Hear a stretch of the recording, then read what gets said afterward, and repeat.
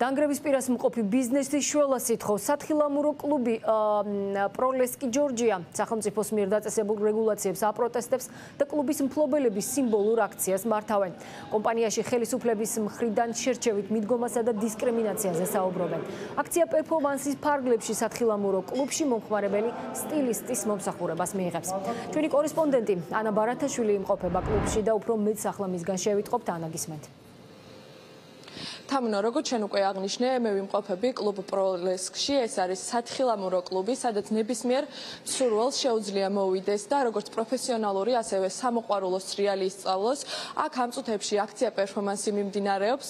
ოპერატორს თქო რომ ვანახოთ კადრში. მოსული არის აქ ზურა ჯაფარიძე. თუ შეიძლება ბატონო ზურა რო გითხრათ რას ნიშნავს ეს აქცია პერფორმანსი? და რამდენად მნიშვნელოვანია რომ ასეთმა ბიზნესებმა იარსებინონ აუ ეს არის საპროტესტო აქცია არის ფლობელები აპროტესტებენ რეგულაციებს რომელთა გამოც მათ მოუწიათ ბიზნესის გაჩერება სადაც ჩადებული აქვს მილიონ ლარამდე ინვესტიცია და გააჩერეს უთყვილად ანუ არა კავშირი ამას კორონასთან არ აქვს.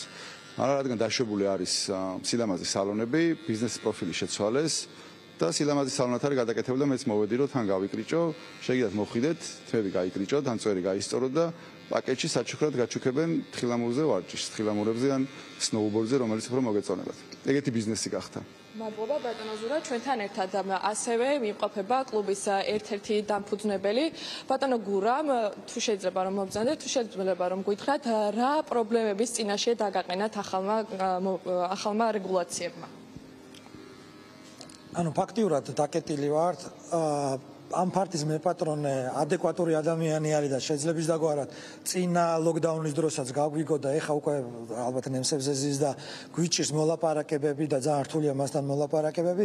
პლუს ჩვენ ყველაფერი ვცადეთ პრემიერ-მინისტრის სახელზე წერილი დავწერეთ. გადაგვამისამართეს ბიზნეს ომბუდსმენმა თან და ბიზნეს ომბუდსმენმა მეო კომპეტენტური არ ვარო და ხო შეიძლება ვინმე ადამიანი კომპეტენტური არსებობდეს რომელიც თუნდაც აქ მოვა და შეხედავს რომ თუნდაც იმ რეგულაციების რო ავიღოთ ან ეს ბატონი ზურა თუ სხვა ნებისმიერ მომხარ თმა შეიჭრის თუ ისრიალებს არანაირი არანაირ წეს არ არღვევს და დისტანციას ხო მით უმეტეს როდესაც თითოეული დარბაზი იქნება, კლუბი იქნება თუ ნებისმიერი გადაკეთდა და ამ რეგულაციებს მოერგო, ჩვენც მოვერგეთ ხო რაღაც გარკვეული თანხები დავხარჯეთ რომ მოურგებულიყავით ამ რეგულაციებზე და გამოვიდა ისე რომ ტყუილა დავხარჯეთ ამ ხელა თანხა პლუს ვაკეთ პლუს ვაკმაყოფილებთ ამ რეგულაციებს, მაგრამ ეგეც აღარ იყო საკმარისი და კიდე ერთხელ ჩავკეტეს და რამდენად გადარჩება ეს ბიზნესი, არავინ არ იცის ამ ლოკდაუნის შემდეგ. თქვენ უკვე მოისმინეთ, კლუბი პროლესკი ძალიან დიდი პრობლემების წინაშე დადგა ახალი რეგულაციების დროს და ასევე სხვა ბიზნესებიც ისინი ჩვენთან საუბარში ამბობენ, რომ ბიზნესი სავარაუდოდ შეიძლება ვეღარც გადარჩეს.